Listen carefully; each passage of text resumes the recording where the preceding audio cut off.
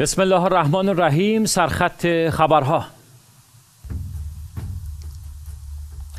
جلسه تولیت مسجد کوفه برای استقبال از زائران اربعین حسینی.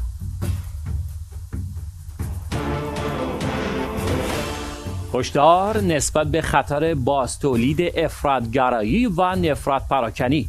عراق مجددا خواستار برچیده شدن اردوگاه الهول شد.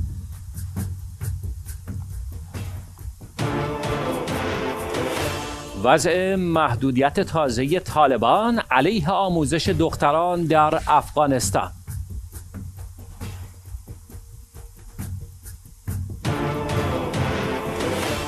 و استاندار واسط عراق اعلام کرد آمادگی همه جانبه برای ورود زائران ایرانی که از مرز مهران وارد می شوند وجود دارد.